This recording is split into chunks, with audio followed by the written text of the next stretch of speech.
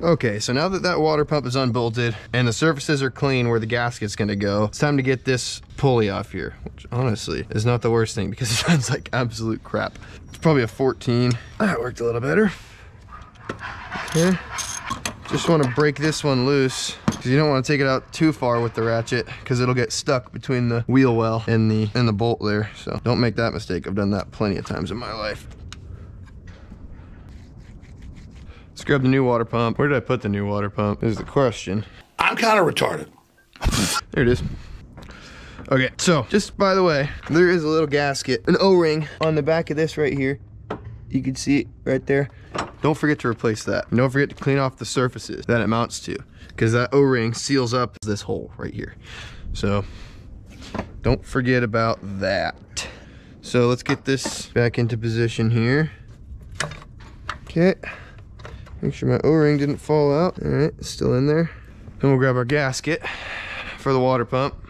Okay, so I just stuck two bolts through the holes here to hold the gasket on, keep it lined up. And now it's time to get this water pump started on here. So it's gonna be a little tricky to line up. These upper holes, there's only gonna be two holes down here that'll be tricky to line up. So the one that goes through where that O-ring is and then threads into the block behind it, that's gonna be the one that's gonna be a little bit tricky. But nonetheless, we shall get it. In fact, I think I already got it. Yep, I already got it.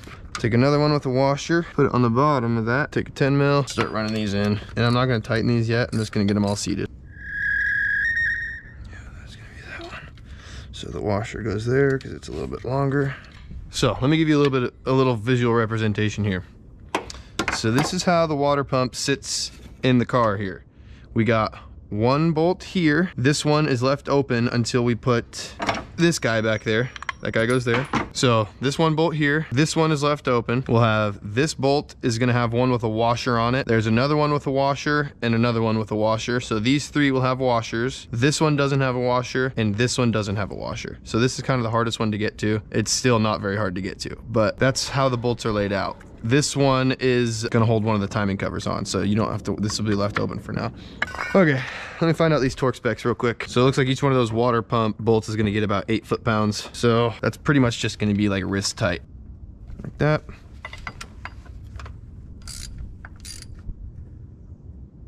Like that. Okay, so these don't need to be too crazy tight. Eight foot pounds is not very much. You just want this tight enough to where these aren't gonna leak and uh, you definitely, definitely do not wanna break one of these bolts off. So just be real careful when you're doing this. Just keep on tightening her until she gets loose and back it off half a turn. Just kidding. Okay, so water pump officially installed. Now let's get that timing belt guide, the new one installed.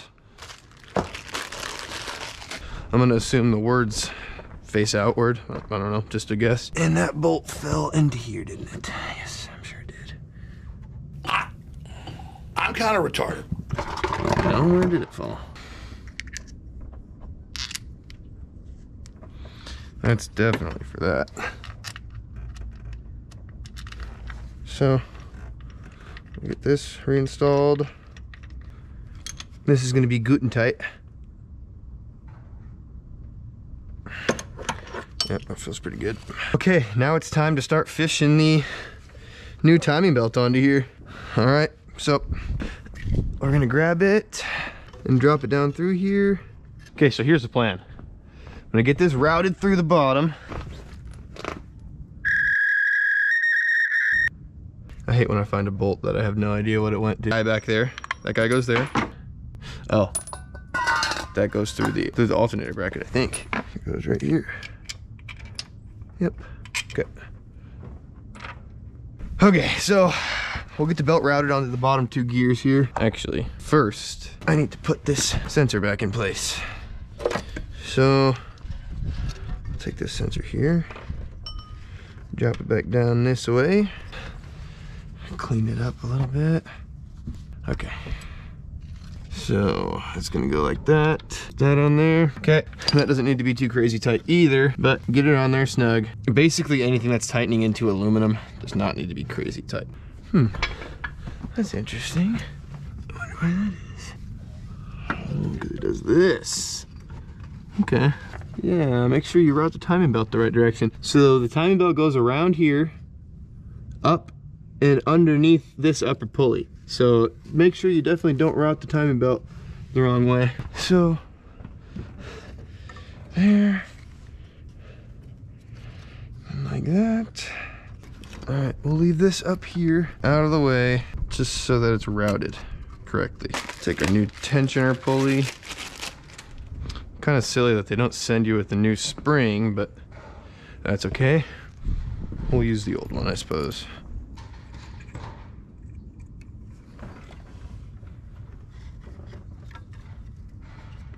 All right, folks, so I'm sitting here editing part two of this timing belt video, and I'm realizing that I did not get adequate video footage or explain it well enough at the time of recording. So what you're gonna do is you're gonna get the bottom half of the timing belt routed over the crankshaft pulley and over the oil pump pulley.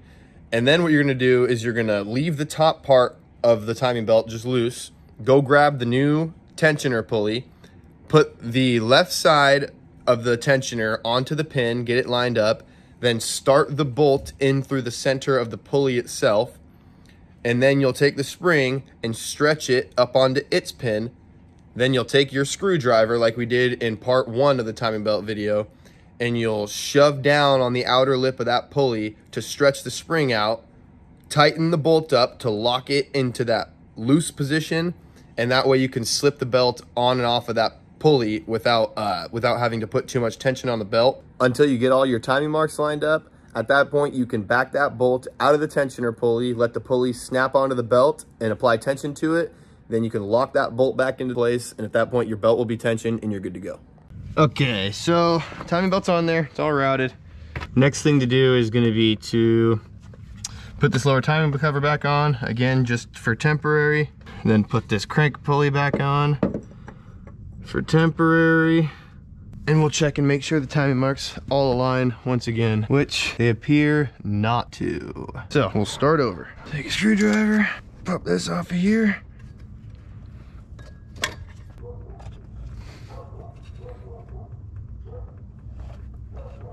Okay, we got the crank line back up. Now let's get this cam line back up.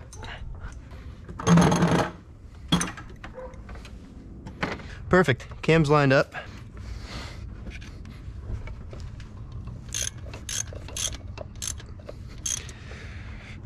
Okay, move my tensioner down and locked it in place so that way I have room to work with this belt here. Now what I wanna do is pull it nice and tight, take all the slack out, run it around and slip it on there.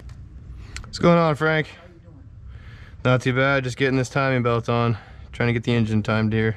Is it pretty tough or not? No, it's not too big of a deal. It's just Okay, okay, a little bit finicky. Okay.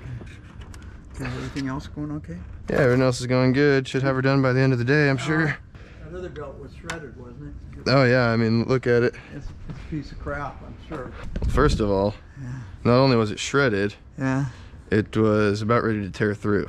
Oh, wow. And then you could see it's about three quarters the width of the new one. Oh, yeah. So yeah, no, all the rest of that material is it's gone. is just gone. Didn't line up that time, so let's try it again.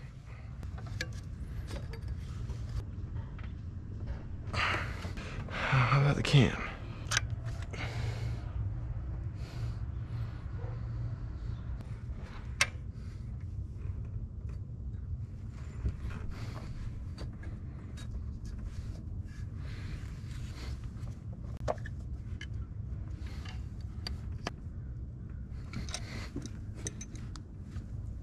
All right, I think we got it here. So cam marks line up. That's still stuck at the zero. So let's loosen this off. And there's tension up top. So let's loosen this tensioner. All right, let's get, uh, let's rotate this engine around, see what happens. All right, got the bolt back in there. Let's rotate this thing around.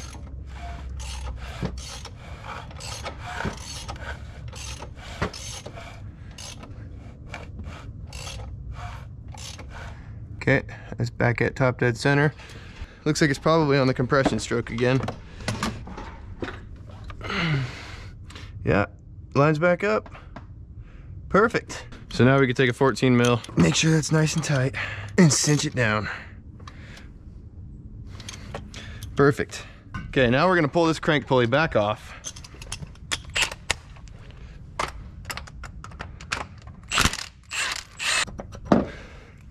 We'll pull the timing cover back off.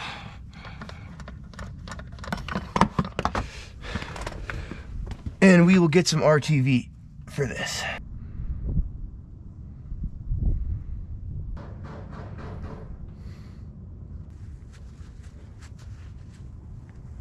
So I got three bolts, two short ones, one long one. We'll get this puppy into position. Carefully stick it up here without smearing RTV all over everything. Okay, short one goes here. The one long one goes right here. And then this last short one, as you may recall, goes in the middle, which I can actually reach pretty well from down here. You might wanna get it from the top, do whatever you wanna do. Whatever is easier for you. Okay, then we can just snug these up. They don't need to be crazy tight. Now we can slip this crank pulley back on.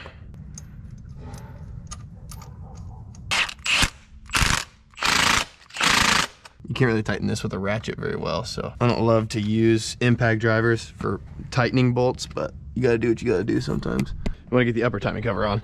And I'm actually not gonna put any gasket maker on the upper timing cover, because it, it doesn't need any. Honestly, the lower one didn't probably need any either, but I'm gonna put it on there anyway. Let's get this back into position. Then I'll take this timing cover.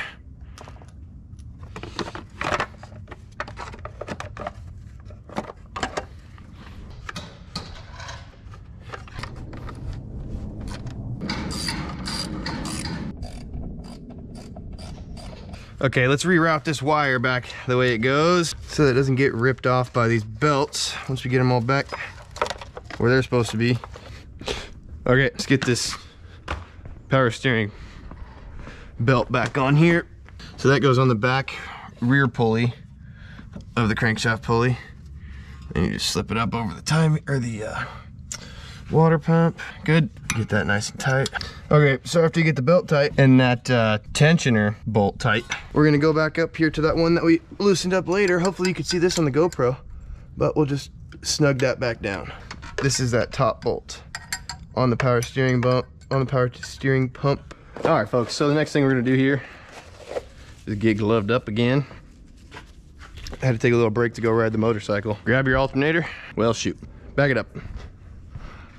Don't need the alternator yet. We need to grab our brackets. Again, we want to separate these two pieces. We'll put that bolt back in there.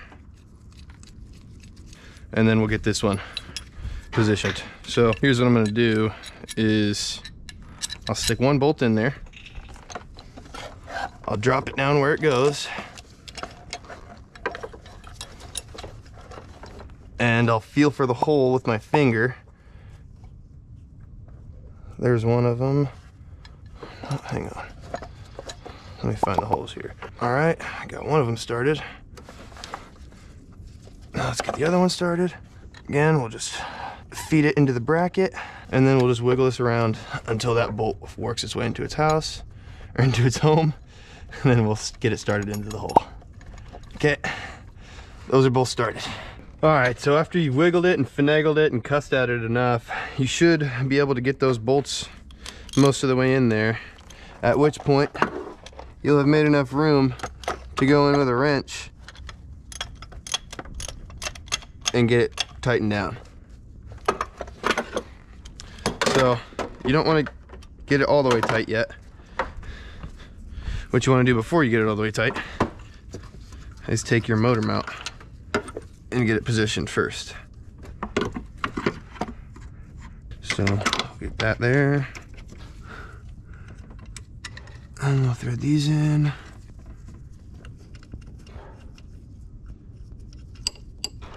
Now we can go tighten the other side, which I'm gonna use a one of these weird box end wrenches for because it's kind of a little bit harder to get to.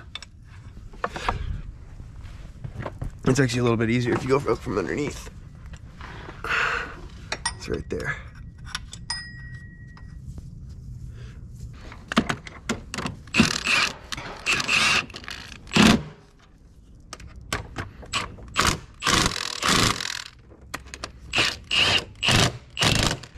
Now we'll take this part of the bracket and get it secured. And guys, we are starting to get real close to being able to fire this thing up. Or I should say to be able to attempt to fire this thing up because Um, I'm gonna be honest, I got no idea if it'll run. But we're hoping for the best.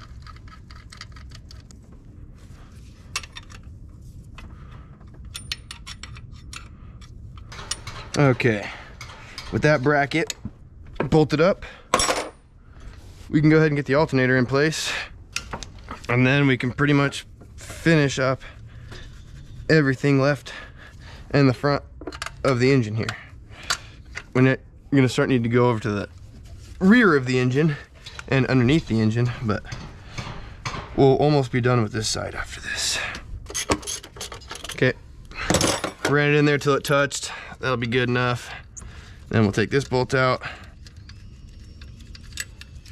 Line these two pieces here up. Pivot the alternator down. Run the bolt through the block, through the bracket, and then into the alternator.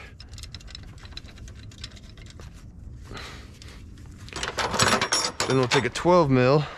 So next we can tighten down this bolt right here that holds this bracket on that we took off earlier to get the water pump out.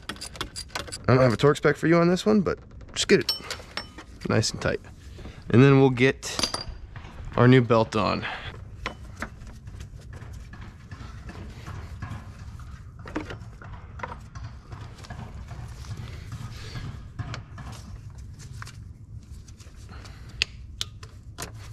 Okay, belt's on.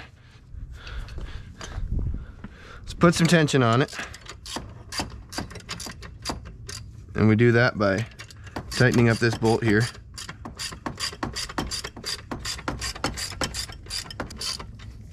Okay, that's nice and tight. So you just want to get your belt good and tight, not crazy tight to where you're putting a bunch of strain on that bearing, but tight enough.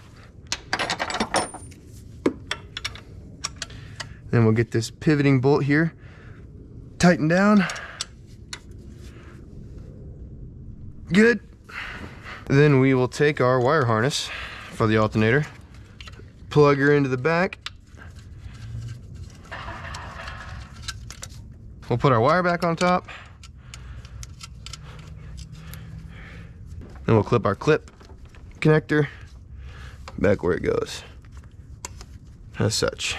Alright folks, so like I said, I was filming two different videos, one for the head gasket and one for the timing belt. So I forgot to film a good ending for the timing belt video. So at this point, you should pretty much be ready to fire up the engine. All you have left to do is to hook up the battery for one and to put the valve cover back on for two. So those are the only things you have left to do. You should have all your harnesses, all your connectors, everything should be plugged back in. So get that battery hooked up, get your valve cover put on along with your new valve cover gasket, snug down those nuts on top of each one of those spark plug tubes. You don't have to get them real tight, just snug them down, and you should be ready to fire this thing up. So let's jump ahead to that part.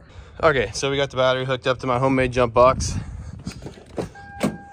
Did it once over, made sure everything was hooked up, all the sensors and everything, all the connectors are plugged in. Let's try it again.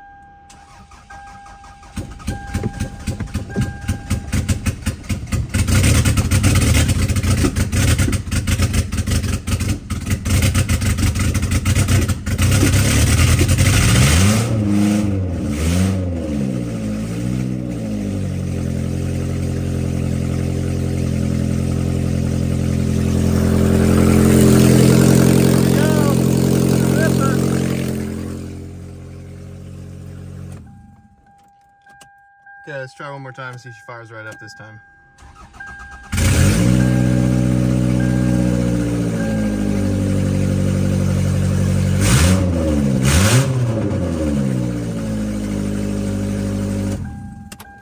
Alright. Alright folks, if you found this video helpful, go on down there and hit that like button if you would. And while you're down there, go ahead and hit that subscribe button too. Alright folks, thank you and we'll see you in the next one.